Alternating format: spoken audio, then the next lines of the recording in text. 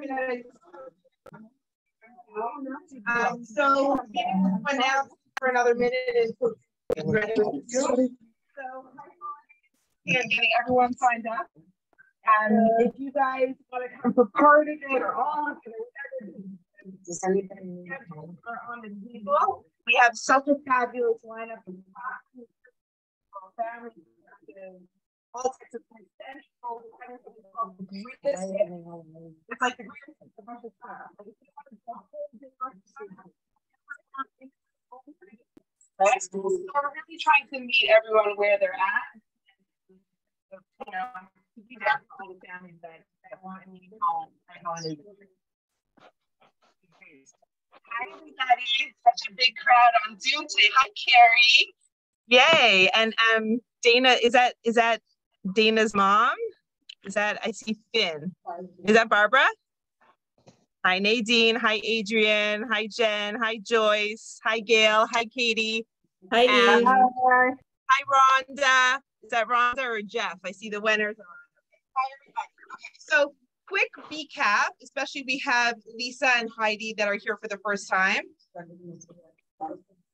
And you missed last week also. So, so okay, so we're really in a very exciting, a very exciting teaching right now. Okay. And I'm going through the teachings of Rabbi Niven, who's uh, a really incredible mind in Israel. He's been developing this curriculum for the last 20 years. And it's to help people find their, what's the word? Yi'ud, okay? Their unique soul's mission, okay? And um, and this is already week three, I think, that we're doing this. And today we're going to delve into some new material on personality traits that will just add another layer to helping us figure ourselves out and the people around us. Okay, so a quick recap.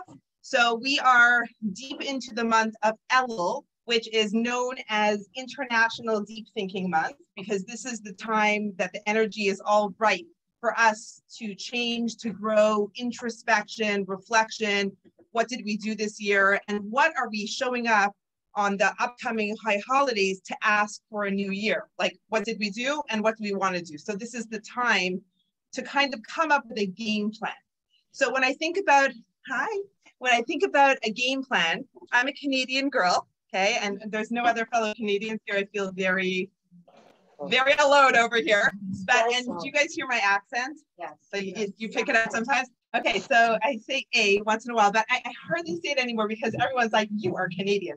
So I, you know, if you see it, if you hear it, great, keep it to yourself.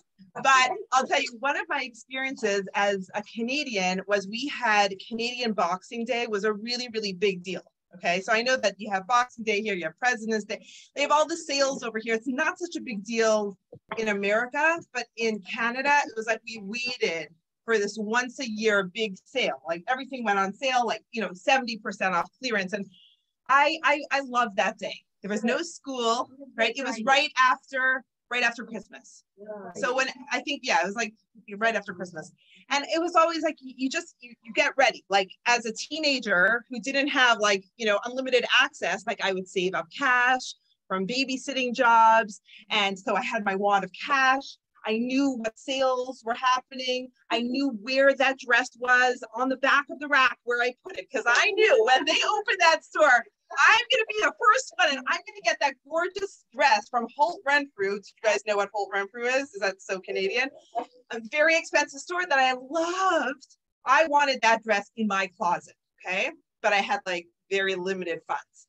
So I had years where I was ready with gas in the car the night before and I went to sleep early and I was the first one as they opened the door, and I got that dress. Right? I, I when I'm driven, when I want something, I will get it. But there were you know, the night before Boxing Day, all my friends came over, and we ended up watching movies till three in the morning. And um, I woke up and I, I couldn't remember like like what I'm on insufficient funds in my debit card. Like that was like a regular occurrence in my life. Still is. Some things never change and um, and I just blew it. So by the time I got to the store, I walked out with what? Like nothing, no bag, and I just did some window shopping. You know, big signs on the store that aisles, the perhaps for conniptions over here. Barry's a personal shopper, right? You know what I mean? You know when you like you want that size, that thing. You know, I'm still thinking about the dress with the buttons that you said you're going to get me. Remember, it had a rip in it, and I'm like.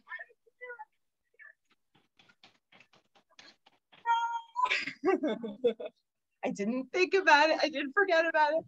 Okay, so that's so that's an analogy for this time of year. Okay, because literally mm-hmm. we are either going to walk away from this month that has potential to change our entire year and our destiny because one year could change the next year, right?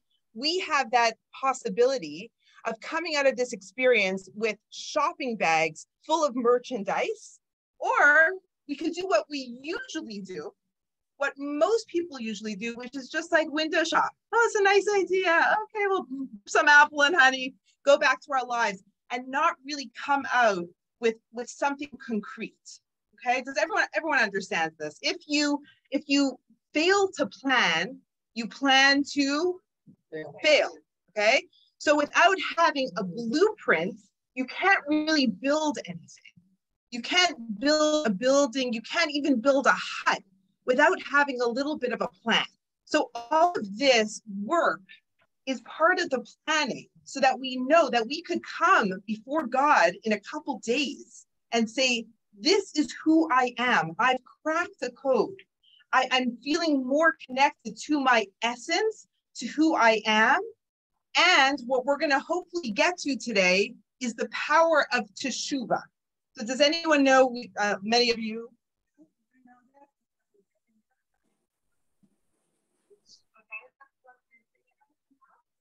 Okay,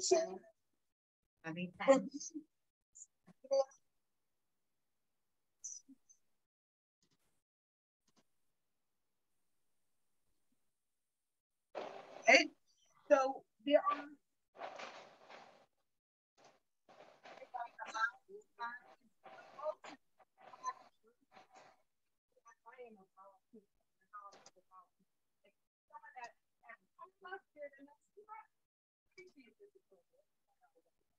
That's a baal teshuva, that's someone that returns. Okay. And this whole time of year is about returning. So the question is, what are we returning? So most people don't even know because we're, we're not who we really are. So return to God.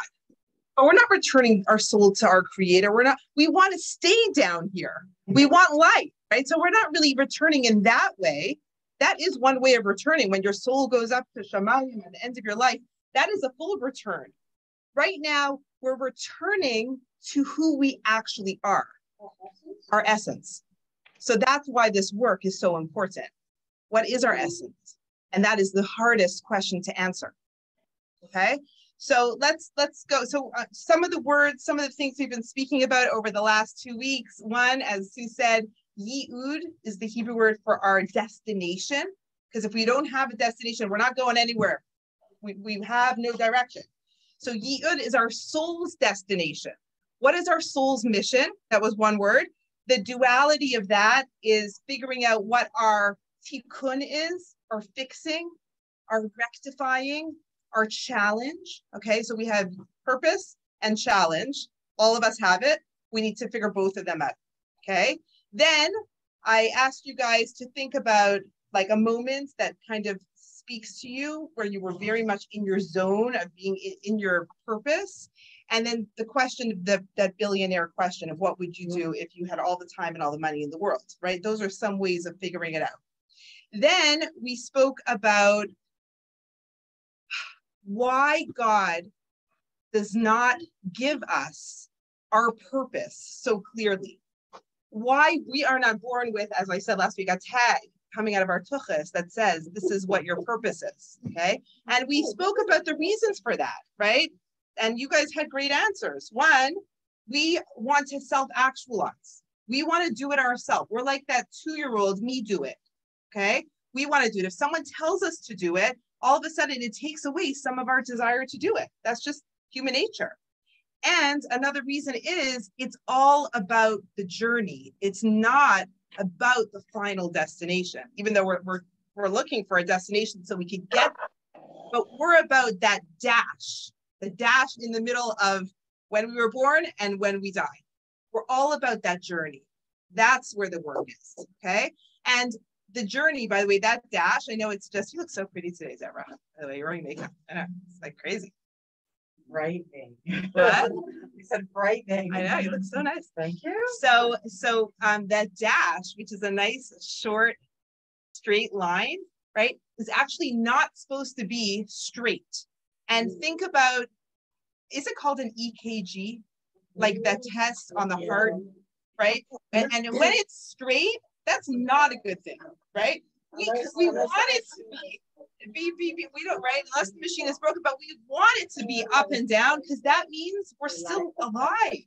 So it's going to be full of challenges. And that's, that's that duality. Like we, okay so so let's actually go into the next to the next part of this sue you said tombstone and that that brought something to mind okay so so legacy legacy is another big word that we have to think about okay because a great question to ask ourselves during this time of year is tombstone. What do we want written on our tombstone right? That is an exercise. What do you want written on it?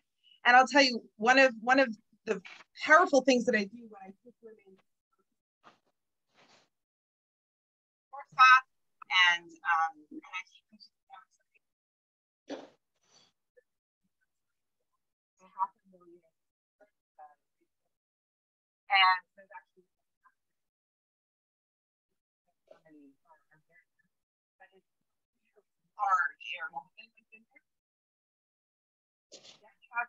So you know what I'm talking about. So what I find so amazing is that when you walk around in that cemetery, you don't need a guide. You don't need to say a word. And as you walk by the stones, you're basically reading the stories of people's lives. You could tell so much what their special thing was, what their mitzvah was. Like you have the the tombstones with the, you know the fingers, right? The Kohanim, like you know, my family is from that tribe. Fingers like that because that's how they did it.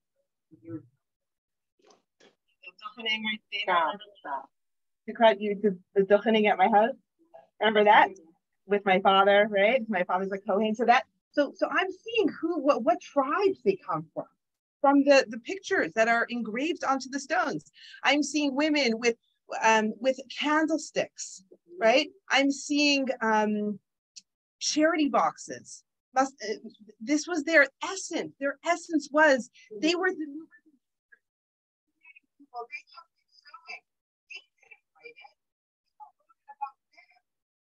there were some candles that were cut out.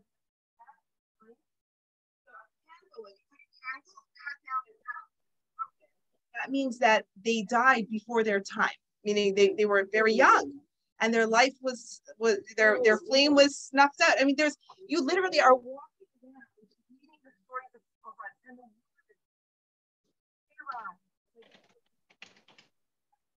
one word it tells a whole story of people's lives.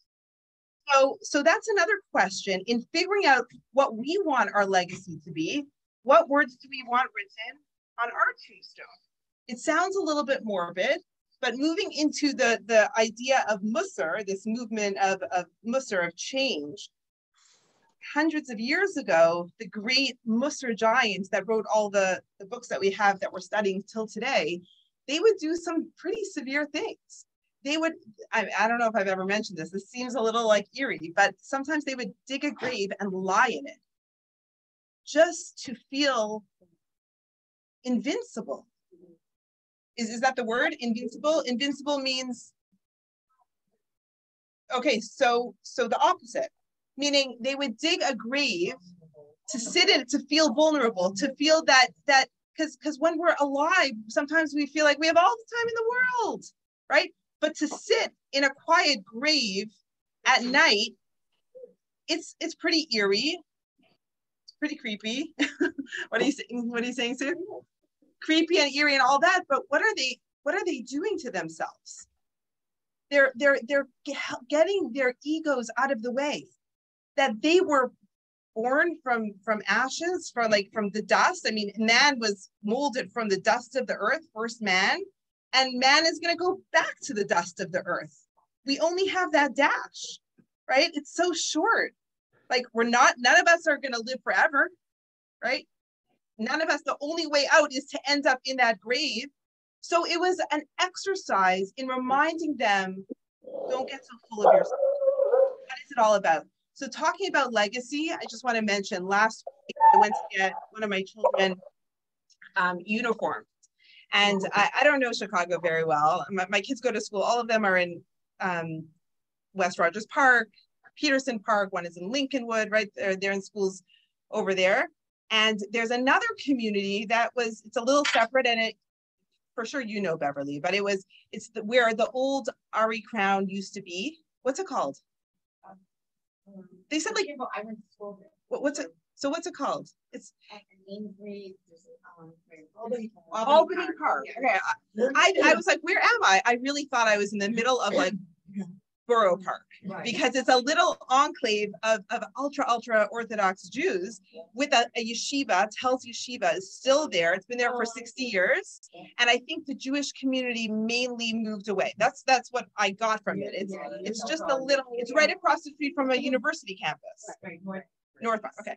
So uh, yeah, I, I drove there. I'm like, give me an address, put it into my GPS. By the way, GPS in if you want to make a parallel i always think gps is is the god positioning system which is what we have inside of us what's our god positioning system our soul our soul right that's that's what we're talking about here like what is what is driving us like what how do we find our, our so that so i put in my technical my real gps in my car and i get to albany park and i'm like where am i mm-hmm. literally in the middle of a regular secular community, there's this like bubble of Orthodox Jews. So I'm buying the uniforms and I'm asking questions because I'm so curious always. And yeah, so it's probably like a couple hundred people that live in this few block radius centered around a yeshiva. So me being me, I'm very curious. I drove around. I, I love, I love Jews and I love communities and I love learning. So I'm driving around and I see this massive building right across from the university. And on it, it says the Joseph Tanenbaum Building. Now, I grew up in Toronto, and our synagogue was called the Bayit. Okay, Bayit means a house. And when I was a young girl and we started at the synagogue, it was actually a house. It was very, very small. And then this man, this this this angel, this special guy, secular Jewish man, no no keep on his head, no big long beard, very millions of dollars and built by it into the largest Orthodox synagogue in North America. And that's where I spent my childhood being raised in this modern Orthodox community. So here I am in Chicago and I see Joseph Tanenbaum. Like, what is his connection to Chicago? So I snap a picture of it, I put it on my family chat, and my father starts you know, my father, if you guys met my dad, he's like a real special soul. And he's telling me the stories of Joseph Tanenbaum and how when he goes up to Shemaim, he is going to be greeted by like, you know, angels and angels. And I mean, God himself is going to usher him into the highest levels. And then on our family chat, so we're, we're in Israel, we're in Canada, we're all over the place. My brother in Israel chimes in and he says, right down the street from his house, there's a building, the Joseph Tanenbaum Synagogue and I just had chills. Like his reach is so far. I thought as a kid it was only in his little place in Toronto because Chesed starts at home. But his love for the Jewish people had no bounds. That is called a legacy. And that was the conversation on our chat all about legacy. Like what a legacy this simple man has, greater than, than the greatest rabbi. He he made so much happen, so much Judaism happen in all corners of the world. We don't even know how far it reached. We just know that in all of our communities, we've been impacted by that. So that's legacy. Yes.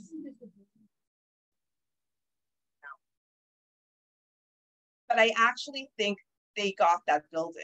I think they bought that building also. So there are many, many buildings there, and this whole there's about 200. Joseph Tanenbaum. It's unbelievable. You should look him up. Google him. He was he was he was he just loved the Jewish people. He was a Jew, and um, he is if he's still alive, he must be in his late 90s. Um, I remember him as like when I was younger, I remember him as just like a really simple person, like so unassuming, like you would, but but he he, he did um make a huge impact. So that's that's legacy. And that's something that we need to think about. Like if we're trying to figure like what will our legacy be? Yes.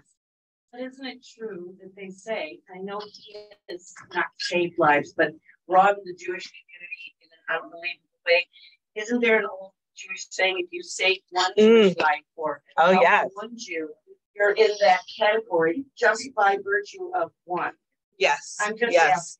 Yes, that's that's so true and so beautiful. That's that's written in the Talmud, and it's also everyone knows it from Schindler's List, right? If you guys saw, that's what he engraved on that ring that they gave Schindler, Oscar Schindler. It says, "If it, if you save one life, you have saved the entire world." So for all of us, we all have a different mission.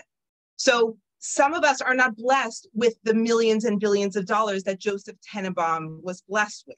He took his gift and his talent and his passion and his love. That's what we're talking about, right? Last week we we made a Venn diagram of one circle is your talents, one circle that overlaps is your love, what you love doing, and one circle is your paradise moment where you know you're in the zone. And I did this actually with Angie last week.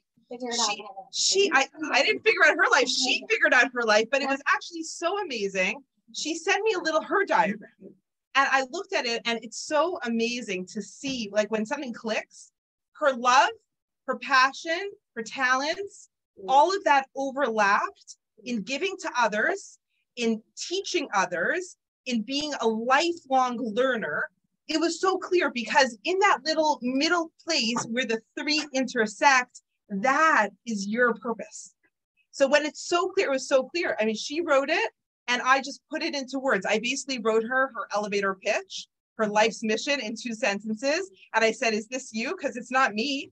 Like, I can't tell someone what their mission is. It has to be them, but I can help tweak it. So I sent it back to Angie and she's like, You got it. You got me. Right. And it's such a blessing to be able, first of all, to be understood by someone else. Like, I feel like I understand her more. And and I I respect her more actually because now it's like very clear to me who this person is in front of me. And I hope you also like grew a few inches because you're like, I'm a person that wants to do good for the world. Everything from from her like so interesting. Um, can I share a little bit? Her paradise moment was connected to the adoption of her child. And her talents and her love had to do with giving and compassion. It all came together, every part of it, teaching others, learning, all of that was so connected that it was so clear. I mean, you were easy. You were an easy one to do. But um, I wrote them. oh, yeah, I we love it that you're here also. So so there is a quote. I think this is um Pirkei Avot that says, "Im ein anili mili."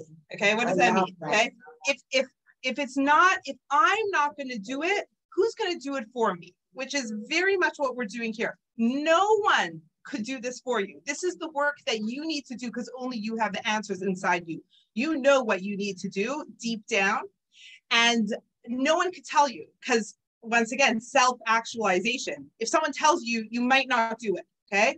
So it goes on to say, Im ein anili. If I'm not for myself, who will be for me? Okay, and then it goes on to say, Im ein anili mili. And if I'm only for myself, ukisha'ani la'atzmi ma'ani." And if I'm only for myself, then what am I?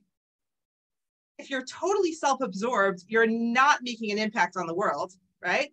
And then it says, "Ve'im lo achshav achshav, ve'im lo achshav ematai." And if not now, then when? And it's so powerful. It has to be you. And you has to extend outwards. If it stops with you, you've missed the whole purpose. And if not now, when? Because we don't have so much time. We have that dash and we don't know how long that dash is going to be. So Elul, Rosh Hashanah, next next week, literally in a week and a half, our fate will be determined for the coming year. So it's a really big time to be asking these questions. Now we're going to go into the next part. Are you guys ready to move on to new material? Mm-hmm. we spent half the time. Okay, so now we're going to go into personality. Okay, and this will just add another layer. It's so much fun. Okay, raise your hand if you've done this before. This is you've done it with Lori. Okay, so Dana, you might have to help me out here. Okay, I might call on you a bit. Did anyone else ever hear this class? Never heard it? Like on none of your trips did oh. Lori get, like on my last, on the trip that I led in July, she actually came and taught this class. But like on the May trip, you didn't hear it. So, okay, so hopefully new material and I'm just gonna do a little bit of it, but maybe I'll send a link to the entire class if anyone wants to hear more. No, no, no. This is, oh, that's another fun way. Okay. On, at the Soul Sister retreat, we did something called Dressing Your Truth, which was so much um, fun, right? You left confused? I could have been in every group. Really? Okay. Well, I I mean, I had a lot of fun with it. So that's what's that was what, what was important. um, and and it seemed like people were, I mean, you you got a lot out of it, I could tell, right? It's just very it's validating. It's validating when you get it just like Angie, when when I did when we did the your yi'ud last week, it was validating for you. It was nothing new. By the way, we don't go to fortune readers, right, as Jews because we don't want to limit ourselves. But but there's nothing wrong with getting your handwriting analyzed, right? So there is this rabbi. His name is Tom Meyer. He lives in Israel. I'm sure. Have you have any of you guys on on the trips, Laura? You there? Because you know, like on the trip, you get this paper that says if you want to get your handwriting analyzed for like a hundred dollars or whatever. So I did it with him because every trip they're always saying, okay, I'm like, what's the big fuss? Like, let me do it. So he didn't tell me anything new about myself, but boy, was he able to read me. And, you know, and, and actually, like, he was like, You're so loyal. He's like, If anyone wants, if you're ever applying for a job, tell them to call me. Meaning, like, he saw that I'll, I'm all in. Like, he saw, like, I'm someone that, like, you know, I'm there. So, so it was very, it was nothing new, but it was confirming. And that's also very good because sometimes we're like, I don't know, unsure of ourselves. Okay. Mm-hmm. So he actually has a book. It's out of print right now, but I'm going to try to get it. I think we should have it here. It's called Power um, Powers of the Soul by this Rabbi Tom Meyer who does handwriting analysis, but he also speaks about personality type. So I'm just going to jump in. We're going to divide. We're going to divide us all into three parts, three things, three names, three identities and we all have part of all three, the same as dressing your truth. We have a little bit of all, but there's going to be one primary and one secondary. Okay. And I want you guys to kind of be like, bing, bing, bing, that's me, 100%. So it's called Chaim Bracha Tov. Okay. What does Chaim mean? Oh, I have Carrie. Carrie is on the, um, Carrie, you were there in July. I, I don't see your, your face. Yes. Yes. Okay. Hold on. Okay. Now you see my face. so Carrie, yes. you can chime in. You could chime in if you remember any of these details. Okay, so do. Chayim Bracha Tov. Chayim means life. Bracha means blessing, and Tov means good. Okay, very simple. Chayim Bracha Tov. Chayim are thinkers. Bracha are doers. And Tov, sorry, sorry, I mis, mix, mix, mix that up. Bracha are feelers and Tov are doers. Okay, so now we're going to go through each one. So Chayim, the thinkers. Okay, so now there is our soul and our body. Okay, so both are, are very different in how we experience things. Okay, so if you're taking notes, you might want to say Chayim soul and Chayim body and how it manifests. Okay, it's a little different. So I'll give you some examples. So the Chaim soul is the, the typical scientist, the thinker, the critical thinking, smart, chess playing, um, debate teams, almost like the absent-minded professor. Okay, he's his head is in speeches and ideas and you know, just all the smart stuff, his or her. Okay. Now, someone like this, we were just talking about, you know, you said your niece. is so smart. And we were talking about my son. And I said about my son, yeah, we want to, we're making a shidduch over here. But um, I we said that I, I I shared that my son is so smart, but he's like, he doesn't work hard. Like if he would actually like, you know, put in a little effort, he'd he'd be so brilliant. But he just coasts. He coasts. He will. He will hopefully.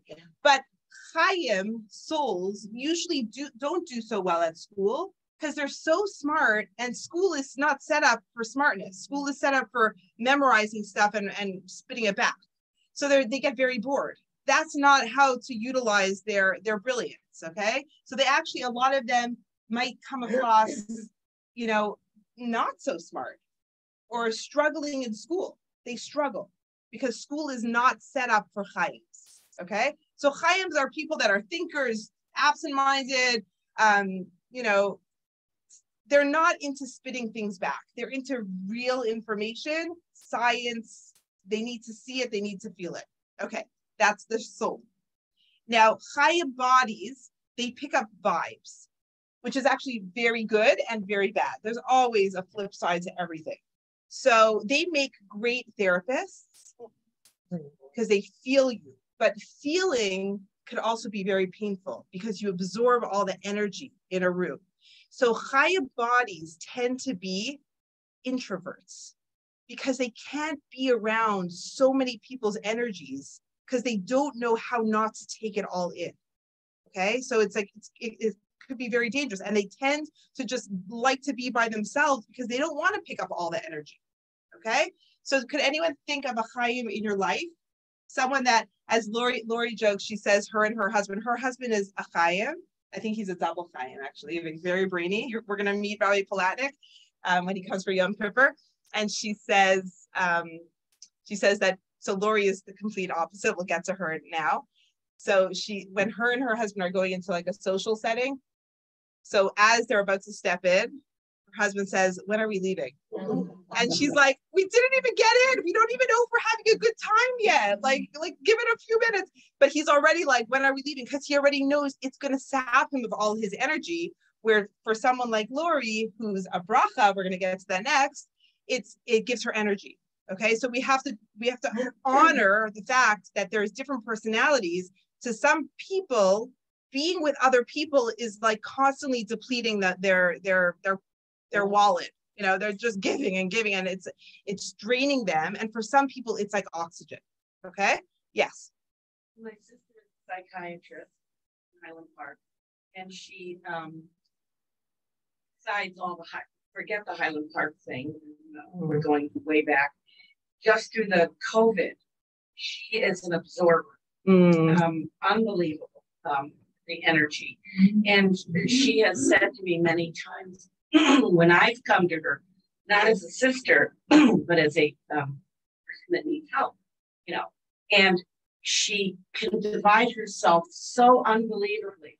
Hmm. And it's very interesting, but she's an absorber and the world, you know, she'll call me and she said, I'm, can I talk to you? Mm. I need to pick me up. Mm. My, my patients are drained. She's so lucky that she has you. Thank you. I'm lucky to have her as well. But and, yes. And that's actually called an empath right? An empath is someone that absorbs all the, like, they have so much empathy that they absorb it. And for people like your sister, that's she's you said she's a psychi- psychiatrist, so she needs to protect herself by putting right. It's so hard, so hard. But she doesn't, you know, it is very interesting. But she, when you said that, I immediately thought of Cheryl. Ah, okay. Well, my my husband, if whoever knows Gadi, he is clearly a Chaim, right? Right, Julie? Do you think? Totally, totally. Like, like thinking and great ideas and in his head. I'm like, hello, you know. well, he he does like spending time with him by himself. He's very happy to, yeah. Yeah. Yeah. So it's interesting. So, but there's well, part of his body, part of his soul. Yeah. It's possible because people don't understand this. You can be an introvert with where it drains you, but mm. with good social skills. Mm, mm. I have to explain this to people a lot of times about myself. So you could, you could once you know it, you I could have great social skills. build it a little bit. in my own opinion. So- so- I love to be with people, but it drains me. Yeah. So, so you have to choose your time and Right. place and what you can handle and Right. like But you know me. you go on your terms Right. right Right. Like hence the trip that you're going on. You're like right? You're like Right. okay. Exactly. so let's go to bracha because bracha is um, a lot of fun right? Now, really bracha is a lot of fun. I'm a bracha. So bracha means blessing as i said and we're feelers okay? We feel things so we're very like emotional. We are very flexible. Go with the flow okay? This is the, the typical the typical. I mean it's it's yes so we're going soul and then we'll do body okay? So the soul of bracha we connects with beauty connects with the world a sunset uh, just we're, we're like we get inspired. Our soul is easily inspired. Um, we're generous we're giving we're outgoing we want to take care of everyone we're on every committee okay? And and the quote about bracha is, is everyone loves a bracha because bracha loves everyone right? Like everyone like it's so easy to get by the way i told you guys how i told you guys some stories about when i was dating um, and i met gadi but before i met gadi i had a few other dates like a few shidduch dates. And every time i came back from a date I would come to my roommate in my dormitory in Israel and I said, I mean, I could totally marry him. I mean, he's he's fine. There was never a time that I came back and said, no, I don't like him because I actually I've never met someone that I don't like. So I literally could have married the mailman. okay. I'm serious. And it was a problem. But then when I what? And and I mean, when I met Gadi, I knew he was special, but I literally couldn't marry the guy before him. I just like, you know, and I needed help in in saying, well, this is important. He doesn't have this, he doesn't have that, or whatever. It was very hard because I love everyone. So that's very bracha. We're easygoing, we're flexible. Um, okay. So remember last week when I saw you and I was not wearing any lipstick or makeup, you were like, you should do that more often. Okay. So brachas are actually lipstick people because we like to put ourselves together. So it's a thing. So Deborah's trying to change my nature over here. So you, look equally as beautiful when you have these gorgeous little freckles and you're Ah. so fresh faced. Thank you. Oh. So so it's funny, like you said those words, and then as I was reading my notes from Lori's class, she literally uses that example. Like brachas are lipstick people. Like, don't tell me not to wear lipstick. Like, don't tell me to be someone that I'm not. Don't, I said you look so gorgeous. Thank you, thank you. But but it's you're right, part of our nature. We like putting ourselves together. Okay, so it's like a certain, it's part of our nature. Okay, so so another example about a bracha. This is a real life example. Um, when I come back from a trip, I tell my husband about the people that I met. Chaim's and Tov's tell their loved ones about the places that they went to and the food that they ate and all of that stuff. I don't care about any of that. Carrie, Carrie is here. She was on my last trip to Israel. She, she's in uh, um, Silver Spring. My husband knows about you, Carrie, because Carrie, because I had a meaningful relationship with Carrie. Okay, so that's that's right. That's brachas. We we're all about people. We love people, and that's what gives us energy. Okay. Now that's soul. Now let's take it to body. Okay. So body. So as I said, we're we're feelers. So we're feeling in our body, which makes us come across as lazy. Because oh. yes, there's a heavy gravity that weighs us down. We love pleasures. We love comfort foods. We mm-hmm. love snuggles and cuddles and fluffy slippers and and all the good like we might come across as a couch potato. Like if anyone comes to my house for coffee, I'm I'm I'm not like sitting up on my desk. I'm literally curled in a corner with my feet up. And um, and that's how I have my my one-on-one meetings, right? If you're coming to my house, we don't why do we need to be so official? Let's get cozy, right? There's always a blanket right next to me, right? That's how we work. So so the physical pleasure is very loud for brachas. We really, really enjoy it. We enjoy eating. We enjoy the beach. We enjoy the sun. We enjoy. We're excited. We're excited about everything. Okay, that's brachas. Music, music, yes, just having fun. We're like, you know, we're party. Okay, so that's the brachas in body and in, in soul and in body. No, no, no, no, no. no, so this is actually um, so Lori Palatnik does kind of bring, bring this down, but it comes from Rabbi Noah Weinberg of blessed memory. So he actually, and, and there are many, he has many books out there and many articles. So if you're interested in finding out a little bit more, he was a masterful human being and uh, a great rabbi for the Jewish world, the founder of Aish Torah. And Oh, yeah, so so he's recent. he's the one. Well, I'm saying he probably this is probably like 30, 40 years ago. But it's. No, no, no, no, no, no, no. This is like a, a system of understanding people. Okay. Now let's go to Tov. Yeah, that, that's right. And your son's rabbi. I mean, he was his rabbi. Okay. So now let's go to Tov. Okay. Tovs are a little bit complicated. Okay. Um, because they come across as being very judgmental, because they are judgmental but there's good judgmental and there's bad judgmental. And as Deborah said, you could take a trait once you know what it is, and you could actually, once you know what your fixing is, you could work on it. Okay, so let's go to soul and body for Tov. So Tov, Tov means good. Tov are the doers. Okay, and Tovs are naturally motivated to do the right thing.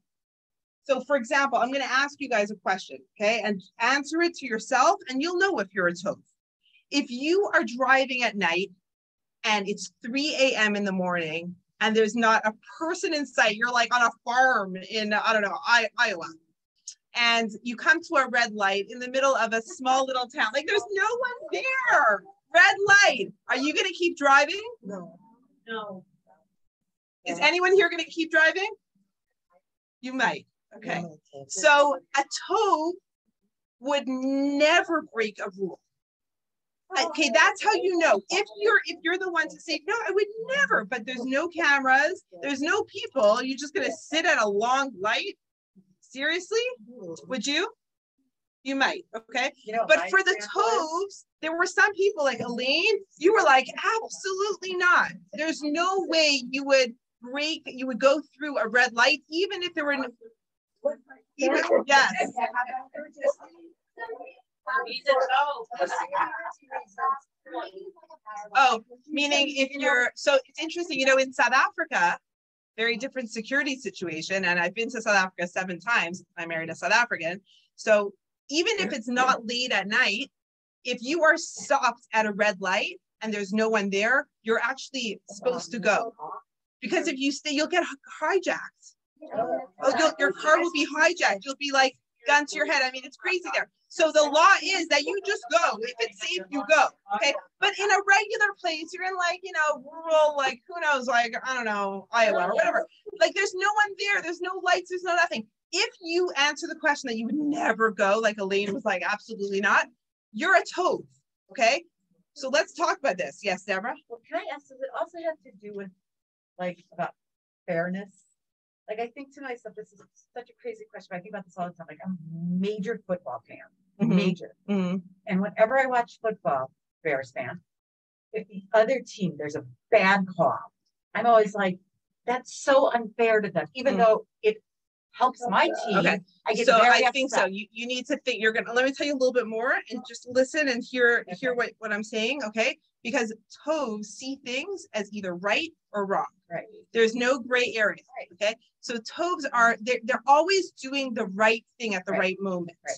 So it's it's very like and and that's why they're judgmental. Because if someone is not do- if, if they're dealing with a bracha that's like, I don't know, like maybe Right. like they're like, no, that's wrong. Right. So it's it depends how you how you want to, you know, Okay. So, Okay, so Tov. So Tov souls want to do the right thing. Okay, that's how they work. They like rules.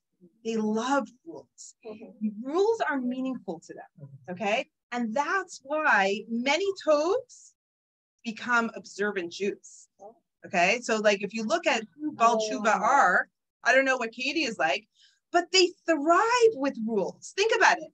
How do you how how, how does somebody that's an easygoing, it's all good, like it's interesting. I mean, it, it's interesting to to kind of look at at Baalei Teshuva. I was who was I just thinking about yesterday?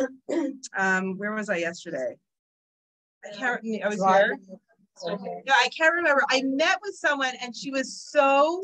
Oh, on Shabbat. on Shabbat, we had a family that came to us from Florida. And um, it was a momentum lady. Actually, Carrie, Carrie, there was someone that came to my house. Carrie, I want Carrie to come visit us. But there was someone that came from from our trip in July.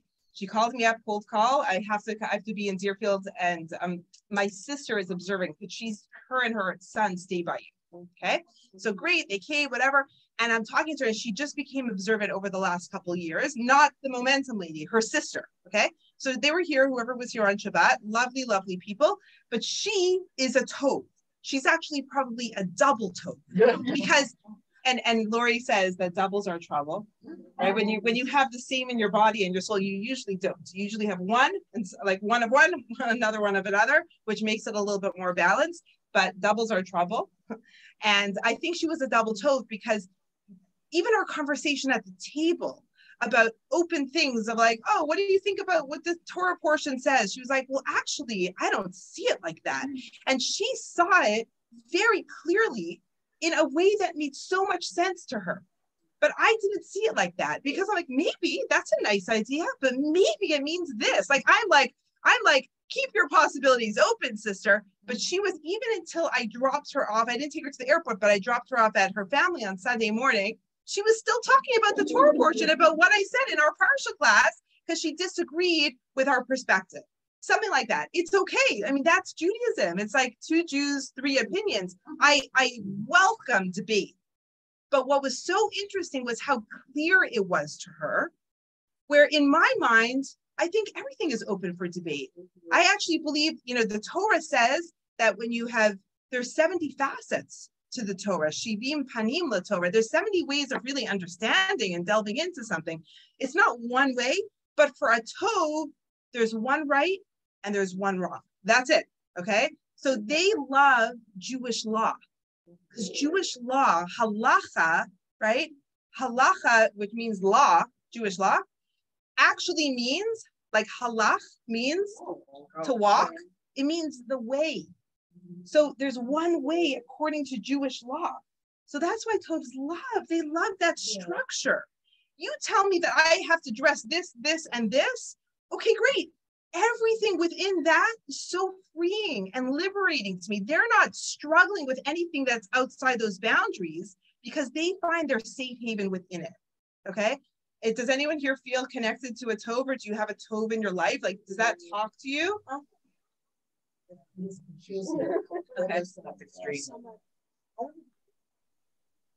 Okay. But there's nothing wrong with going through the light, but okay. No, no, no, no.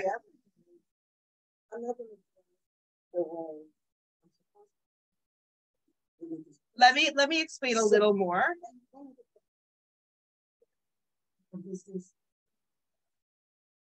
Oh.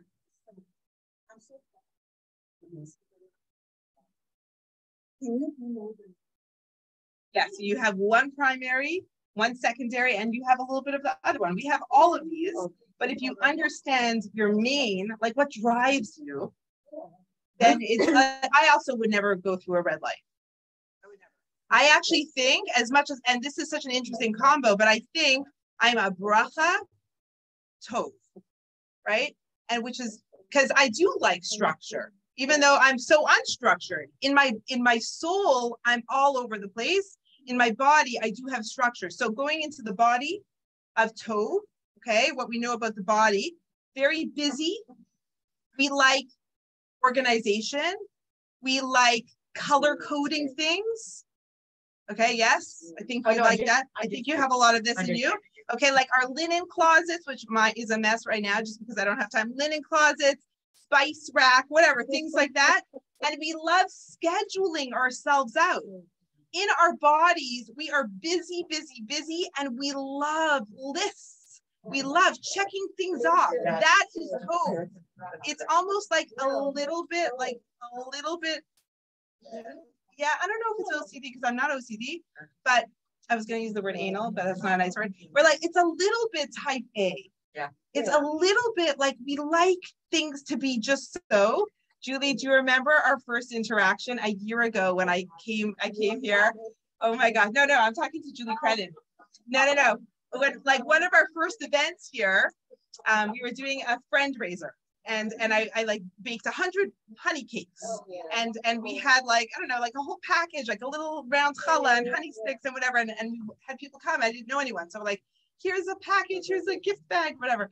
So when we were and it was a lot to put together. So I needed volunteers whatever. So thank God Julie came and Julie was stuffing the tissue paper in way she would stuff the tissue paper in and I almost couldn't breathe I had to remember that was like, I, I mean, she's never gonna let me live it down, I think, because I was like, Julie, it was so hard for me. I'm like, I wanted it to be because we had two colors of tissue paper. So one had to be this way and one had to be tilted. So that when you you get it, so that when you put it together, like, and then we we like puff it out and it's so beautiful and the colors and everything. And I literally was like, you, you could do this. Don't, don't say anything. You barely know her. She doesn't know you. You breathe, right? And then eventually I couldn't take it. I was like, Julie, like I, I you're gonna and she probably thought I was insane. We had we were making a hundred gift bags and I wanted the tissue paper to be the way that I wanted it. Okay.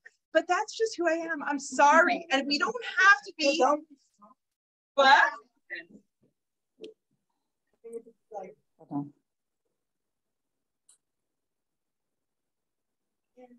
Wait, I wonder if it's connected to my earbuds.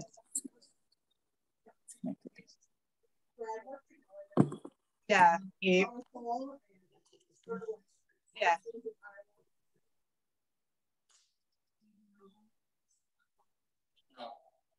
Yeah. It- we needed to like establish from the very get-go that that that I want things so and and to me L'chaim Center is my child's bar mitzvah. Like it really it's the same. It's like like I love the people here. I want it to be beautiful. Like it makes no difference. It's not this is we're all it's all equal. So that's that was I that was an interesting way of, of, of acknowledging. So now we get it. We could understand that there are different ways that our body reacts and different ways that our soul reacts. And once we could understand it and grasp it, A, we could respect ourselves, stop being so apologetic for ourselves. And B, we could really understand the people around us that they're not like us. They don't think like us, right? It, it's, you could go into like learning people's love languages or whatever. There are lots of ways of understanding people. But part of figuring out who you are is doing a little bit of this work so you understand what is my essence. We're trying to do this teshuva. We're turning to ourselves and we're like still stuck at who am I? So it's knowing it and and honoring it and grabbing it and then moving for and then tweaking it because some of this is annoying. Mm-hmm. Tovs could be judgmental. So we need to work around that. We can't be so judgmental. It's not coming from a bad place. It's just coming from a place of like, you literally think they're wrong because you think it's black and white and you're right. So they have to be wrong. Right. I would just like, Person that you said you were. Yeah. So I'm so, but, but I, I don't know. I've, I've never fully, like, I've never fully, I know that I'm a bracha. At first I thought I was a bracha bracha, right? Very mm-hmm. easygoing because that's very, I'm very, very easygoing. But there's something in Tov that I also have. Like, like I do like making things happen and getting things done. Yeah. Well, no, no, I, I don't know, but it's also the judgmental part. Everyone is judgmental. Yeah. Right? Um, everyone has judgment. Judgment's a good thing. So we could be discerning of, of things that we don't want to be a part of, right? Judgment is ingrained in us. So, but judgment's been something that I've worked on for a long time, not judging other people. So, yeah. So that, any questions? Really?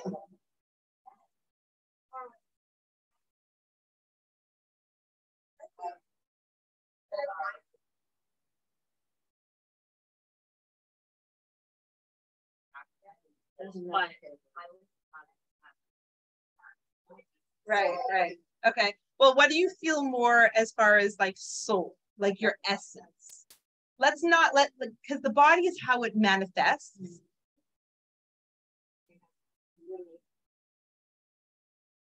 Yeah. Right. So, so I've heard Lori say it so many times, and and every time I'm like, what am I? I just know that I'm not Chaim. I'm not Chaim. Chaim is the oh, thinkers. Oh, I I make decisions so quickly. I I'm not. I, I, no, and I'm not an intellectual thinker. Like I'm not. I'm just like, That's a beautiful idea. I'm an inspirer. I love being I just say, inspired. Going along with your story there, I always say that COVID. Yeah. Made everybody else catch up to my germophobia, that I don't have to make an excuse. Like when people would come to my house, because I'm a big entertainer, I would like cringe, but I'd be like, when people would offer to help, I'd be like, can you please wash your hands? They'd be like, I Mm. washed my hands before I left the house. And I'm like, "Eh, Mm. but you've touched this and, and I'm Mm. be like, eh. And now I'm like, could you please wash your hands? I Everybody's like, of course. Like, No. Okay, so. I, I want to, I want to. I want to, I want to close up in five minutes. I want to share a story and I want to talk a little bit about this teshuva idea. Okay, so we have like five more minutes or so.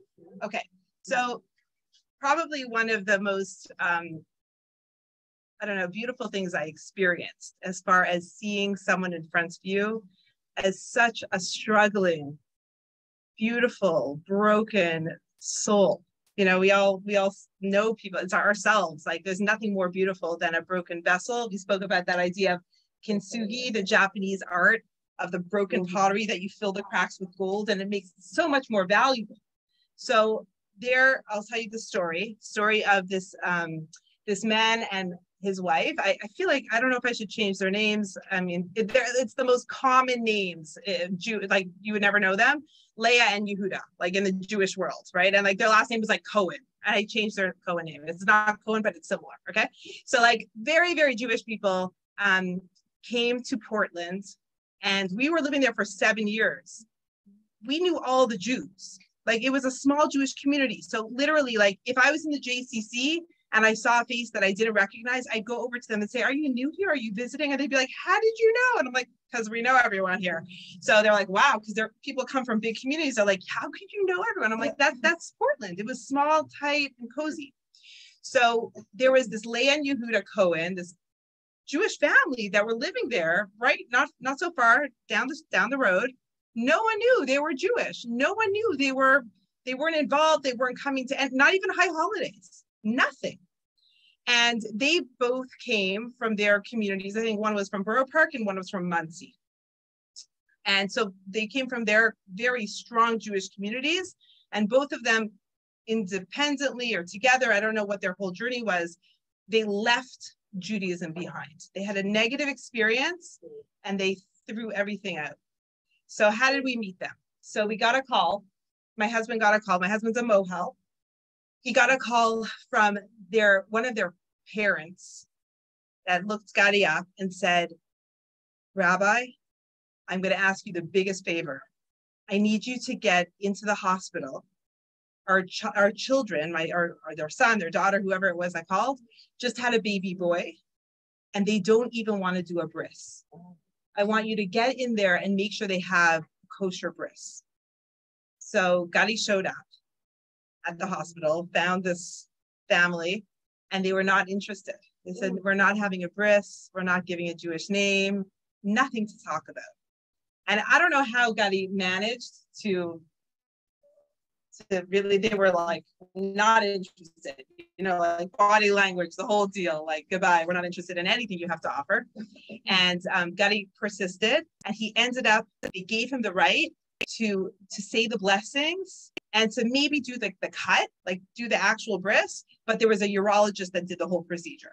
Okay, but, but there was it was kosher, it was Jewish, it was kosher, and it was fine. And parents, grandparents were so relieved and so grateful.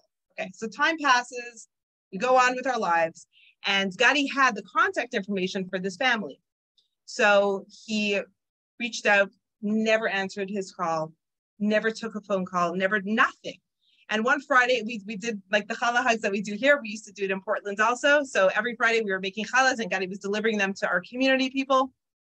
And one Friday he knocked on their door. They wouldn't even answer the door. So he left it by the door. Hot challah. Okay, like left it by the door. He said, It's Rabbi Levy. They're like, we know who you are. We're not interested in your wares, you know. And I'm so rude, like, wow. So Gadi went back the next week with a challah.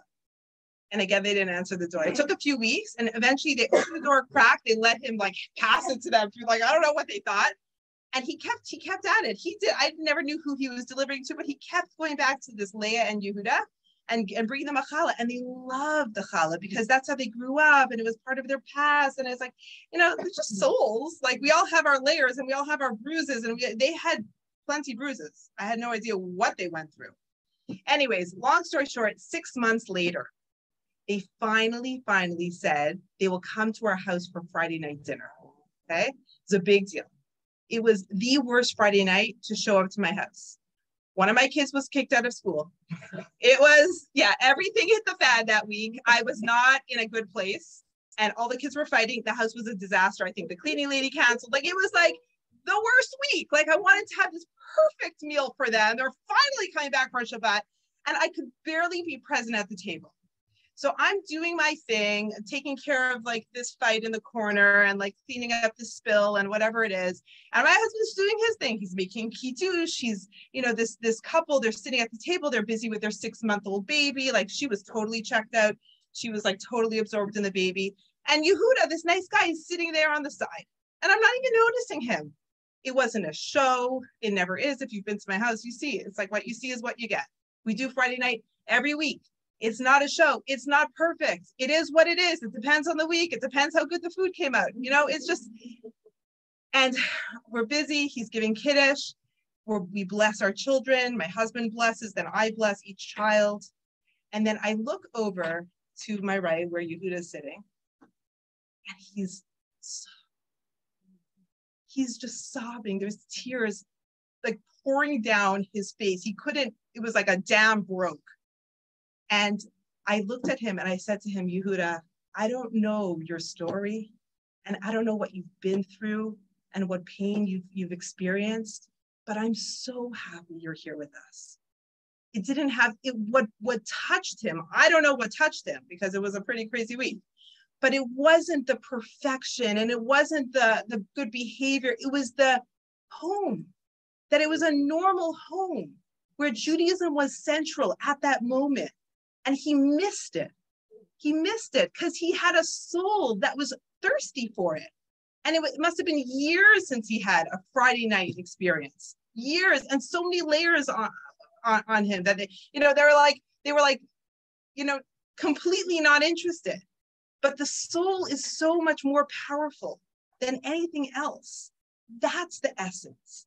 When we talk about teshuva and returning to something real, it's it's it's like sometimes we don't even do you think he even knew that he was going to feel something he, he wanted to be in and out he told us he's like we're going to come but we're like as soon as you know six o'clock our baby needs to go to sleep so like we're like come for whatever you want like no problem but they ended up staying longer past the baby's bedtime they're first i know like you know and um and then they came back and they came back and they came back they came they even joined us for passover seder that year which was really, really special. We're, we're still very close with this family.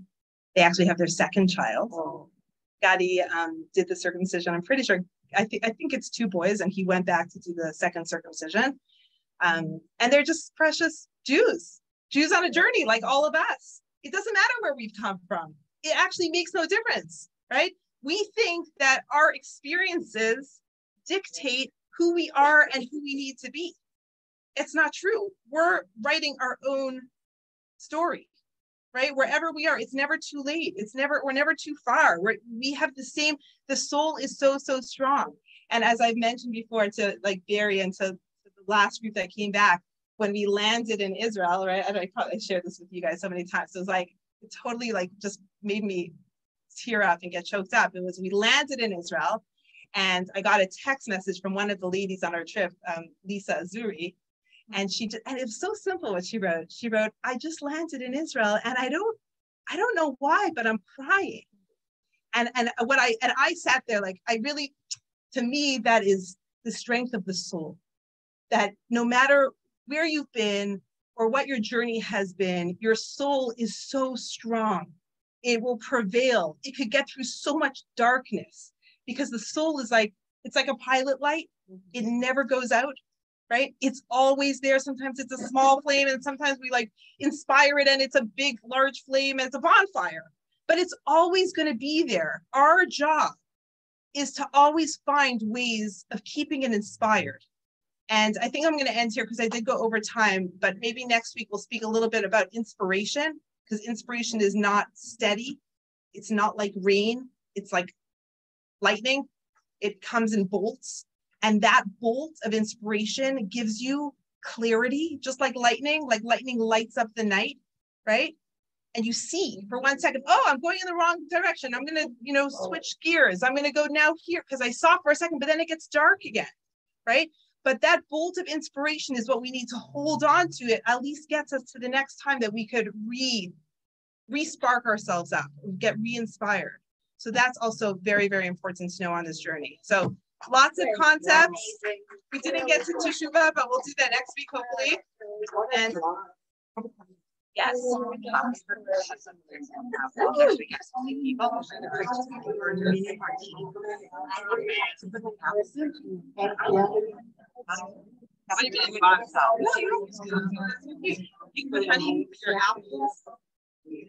That's so beautiful. Oh my gosh, gorgeous. Here, gorgeous. I love that. Nice. I have I love it. Yeah.